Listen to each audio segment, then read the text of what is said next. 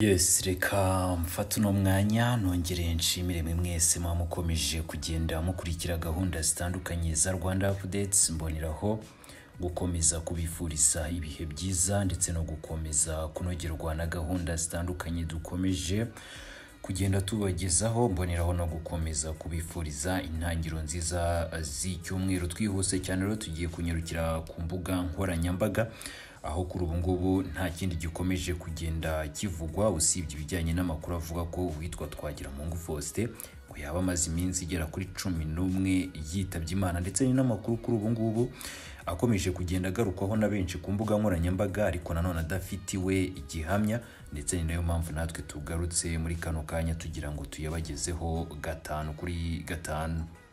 Mwibutse ko rero usibye n'aya makuru agaruka kuri Faustin Twagiramungu wari unaherutse eh, kuba umwe mu bahamyaga ko umukuru w'igihugu cy'u Rwanda yaba afite ikibazo kijyanye n'ubuzima bwe.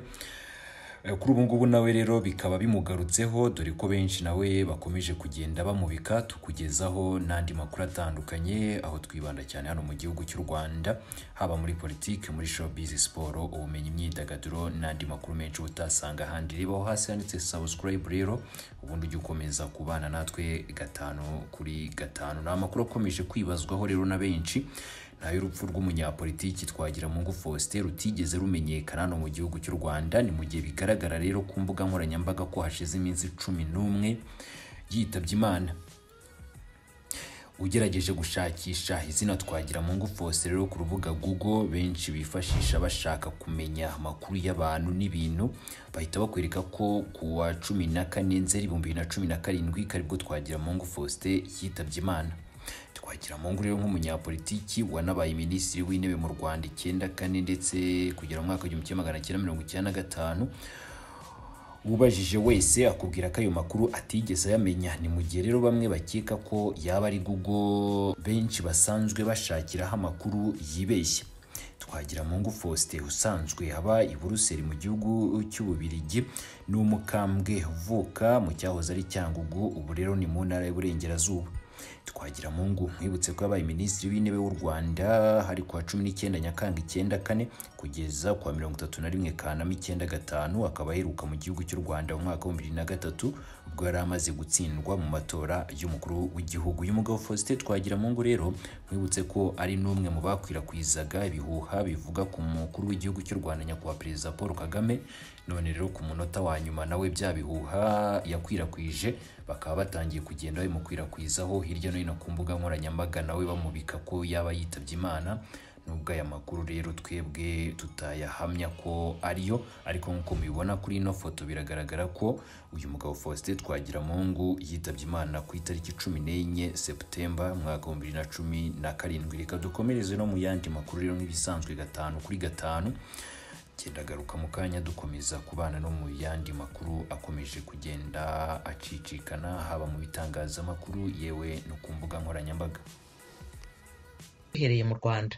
Nyuma ya kaminuza eshatu ziherutse gufungwa na leta y'u rwanda zishinjwa imikorere mibi indi kaminuza iherutse gufunga imiryango yo ivuga ko ari ikibazo cy'ubukungu butifashe neza.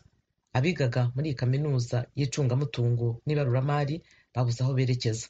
Ni inkuru y'umunyamakuru ijwi ry'amerika asumuta kabuye iri i kigali mu rwanda. Iyi kaminuza izwi ku izina rya kimu iherereye mu mujyi wa kigali mu karere ka kicukiro. Mu itangazo yasohoye yatangaje ko ifunze imiryango kubera ibibazo by'ubukungu ndetse isaba abayigagamo kwishakira andi mashuri. Ubuyobozi bw'iyi kaminuza bwatangarije radiyo ijwi rya amerika ko ihomba ry'iki kigo cyabo ryatewe n'umwenda iyi kaminuza yafashe mu mabanki ariko ngo icyorezo cya covid cumi n'icyenda na cyo cyongereye ibibazo.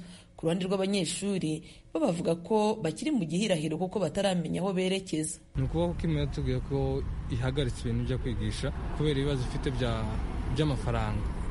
Ariko ikibazo dufite bari kutubwira ngo abarimu bamwe bimenya amanota kubera ko batabishuye. Urumva rero twabuze amataransikiriti izindi kaminuza zaratangiye kwigisha twahamagara abarimu bakatubwira ati ntabwo bari butange amanota kubera ko batarishurwa ariko ntacyo dufite twabikoraho utarabona taransikiriti isa n'ibandi bakwakira. Ikibazo dufite uvuga ngo n'izo taranscript nituza kuzibona. Ibindi bigo biraza kudusaba gusubira inyuma. Ahubwo twebwe ikintu twasaba nka heke yareba uburyo yadufasha. Bwo gufata taranscript tukijyana ku kigo wari usigaje amasomo atatu cyangwa abiri. Kandi uko tubizi amategeko ya heke ni ukuvuga ngo iyo urekirashije ukajya kuri yindi universite bisaba kwiga 50% ubwo rero urumva yuko ni ikibazo gikomeye twebwe nko ku bantu twari dufite dusigaje amasomo makeya rero badufasha bakadukurikirana ikibazo cyacu kugira ngo ibintu bigende neza natwe tubashe kwiga. Icyo twifuza ni uko batubwiza ukuri bakatubwira ngo byarananiranye mugende mushake ibindi bigo niba tuzasubira inyuma na byo tukabimenya. Iyi kaminuza yashinzwe na bwana peter rutaremara witabye imana umwaka ushize umugore we madamu kayisengerwa rasheli wasigaranye ubuyobozi avuga ko urupfu rw'umugabo we rwongereye ibibazo muri iyi kaminuza.